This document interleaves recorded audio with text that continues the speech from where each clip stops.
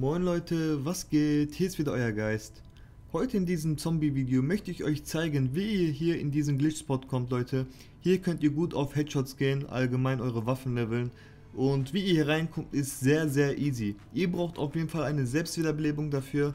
Und am besten, bevor ihr hier reingeht, verbessert eure Waffen, mit denen ihr spielen wollt. Am besten nehmt euch vielleicht auch ein Messer dabei oder eine Wunderwaffe, falls euch die Munition ausgeht. So, ich zeige euch jetzt, wie ihr hier reinkommt. So Leute, ihr geht ins Wohnzimmer, dann geht ihr bis zum Ende durch hier in diese Ecke und wenn ihr dann hier an der Wand langläuft, dann geht ihr so ein bisschen nach oben Leute. Ihr läuft so lange nach oben geduckt, bis ihr hier an diesem grün-blauen äh, Licht seid und dann müsst ihr euch von einem Zombie töten lassen. Schaut genauso wie ich nach vorne Leute.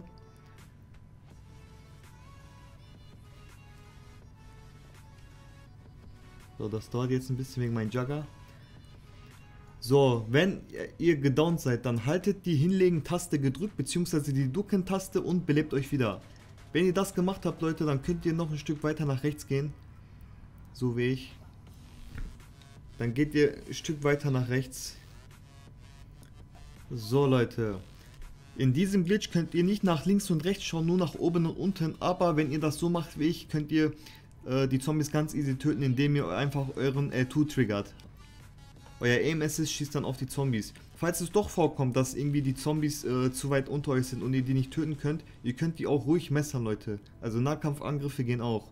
Oder ihr benutzt wie ich die Energiemine mit dem Energieminen-Glitch. Also ist auch ganz easy, Leute. So, äh, Power-Ups könnt ihr aufheben, wenn die Zombies nahe genug sterben. Dann könnt ihr auch die Power-Ups aufheben.